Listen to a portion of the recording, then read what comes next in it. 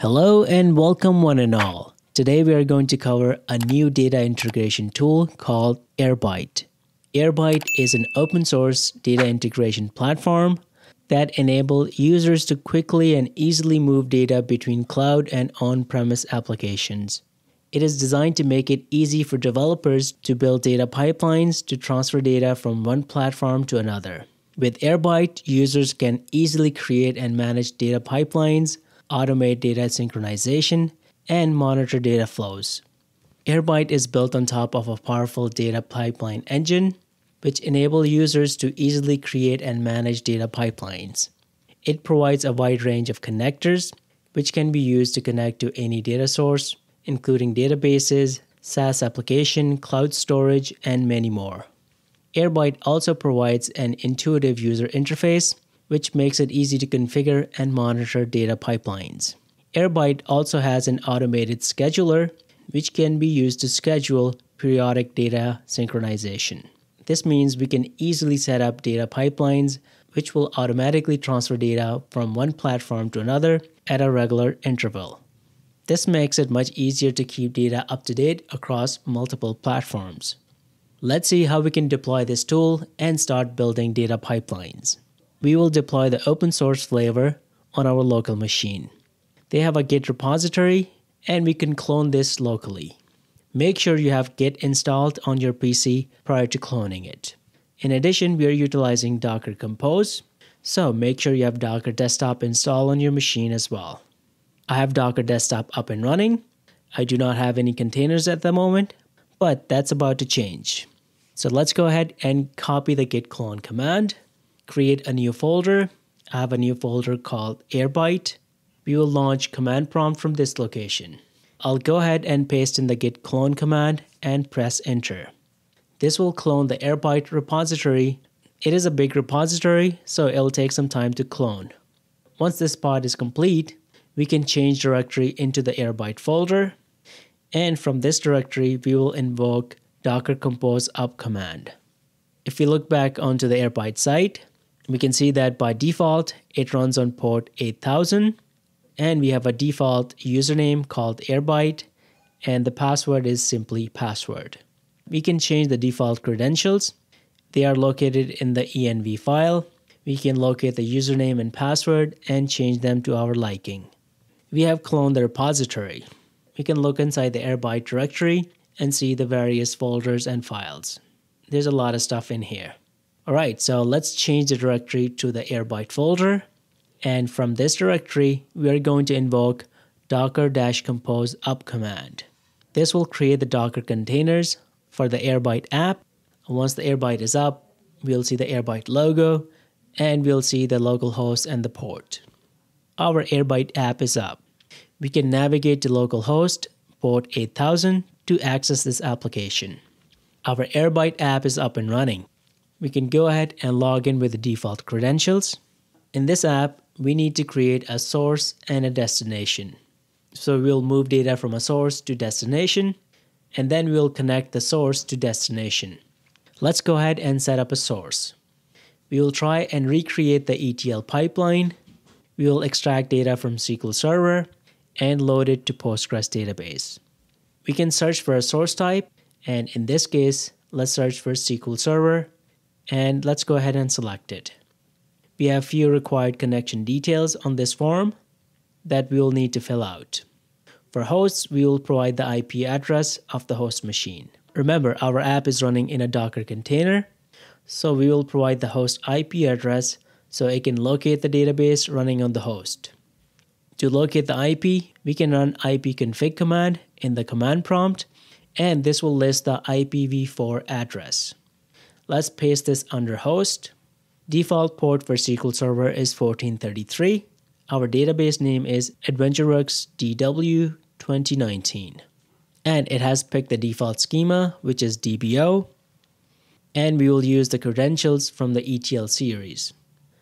JDBC URL is optional, so we'll leave that alone. If you're using SSL, then be sure to choose appropriate selection for SSL. The important option here is the replication method.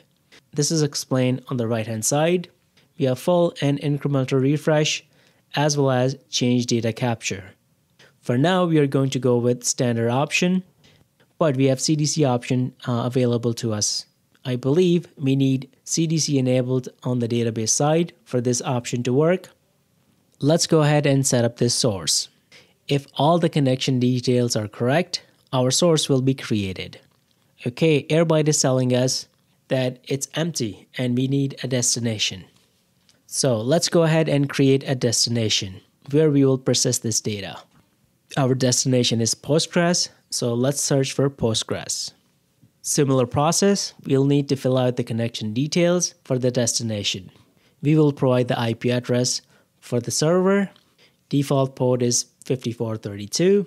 Our database name is AdventureWorks, and we will use the public schema. We have the same credentials as the source, so ETL user and demo pass for password. We will leave the rest of the options alone. On the right hand side, we have summary of the required parameters for the connection. We need a Postgres user with permissions on the database. In the ETL series, we have created the ETL user and we have provided enough permission to this user on AdventureWorks database. Let's go ahead and set up the destination we are connected to our destination database. We have set up the source and the destination. Now we need to connect these two. This is our destination database on Postgres. We are going to populate the public schema in this. At the moment, we do not have any tables, but that's about to change. In the Airbyte app, let's create a connection. The source is SQL Server, or we can set up a new source by searching for the source type. But let's go ahead and use the existing source we already set up. Our source is set up. Let's go ahead and uh, choose destination Postgres. And we'll click the use existing destination button. It has mapped our source to destination. We can give it a meaningful name. I'll call it SQL Server to Postgres. We can set the transfer frequency as per our needs. This is for scheduling. For now, I'll set it to manual for testing purpose. Next, we have destination namespace. By default, it is going to mirror the source. It is going to copy the source system structure to the destination. For example, in the source, we have DBO schema and AdventureWorks DW build table. This pipeline will create a DBO schema on the destination, and in this schema, it'll create AdventureWorks DW build table. This is completely fine if you want to carry the source structure However, we want to create these tables under public schema. So for that, we will select the custom format. In the custom format, we will provide the schema name, which is public. And also if we want to prefix our tables, then we can provide a string here. Let's say we want to identify these tables with a prefix src underscore. So I'll go ahead and type that in. Our updates have taken effect on the destination. Table names are updated per our custom settings as well as the schema. Also, we can customize the table. If we don't want to pull data from all the tables, we can toggle the slider to left to disable the sync for certain tables. I will go ahead and toggle the slider for most of these tables. I only want to sync few tables. So I'll pick the tables I want to sync on the destination database. There are two options to persist data on the destination side raw JSON, or tabular data. I would advise for the tabular data, otherwise, we need to perform further transformations to get the data in a table format. Our source and destinations are connected. Let's set up this connection. I will bring up the database and the Airbyte app side by side before executing the data pipeline. This is our destination database. We do not have any tables in it, let's go ahead and trigger the sync in the Airbyte app. Our sync is running, and if we were to refresh the database, we see the internal Airbyte tables in the database. These tables are fixed with underscore underscore Airbyte, and our sync is complete. We have moved 64 megabyte of data in 27 seconds. And the beauty of it, there's no coding involved. We see our actual tables with SRC prefix, we can use these table for staging, or we can build our DIMs and fact based on these tables. Let's query a table to view the data in it. This is the actual data. We see that there are few Airbyte generated columns in it. We have the ID, emitted, and normalized date. Let's query the raw table and see its data format. This contains the same data, but in raw JSON format. It does have Airbyte ID and date. In the Airbyte application, we can review the logs if we expand the sync. It stores all sorts of detail. If there are any errors, they'll be logged here, so we can check for errors in the log. And if you have worked with DBT, then the table or the model build look very similar to DBT. And perhaps under the hood, it is using DBT to create tables. All right, next we'll look at replication. Here we can change the frequency to run on schedule. We can also change the format setting, but most importantly, we can change the sync mode from full refresh to incremental load. We'll cover this in a later video. The transformation contains the option for raw JSON or tabular data. It also has the option for custom transformation. If we click on it, we see that we can use DBT or data build tool to perform transformation on the data we sync. We can provide the DBT repo and the branch name.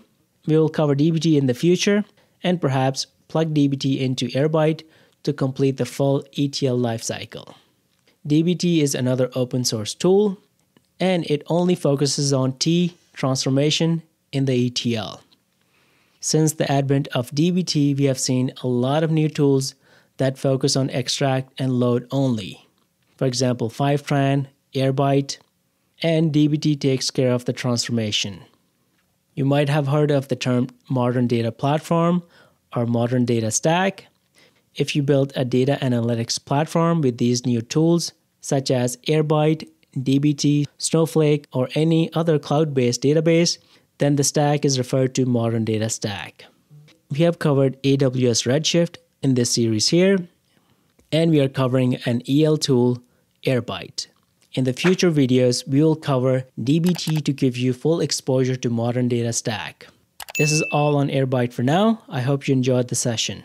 Like, share, and subscribe. Take care, and I'll see you in the next video.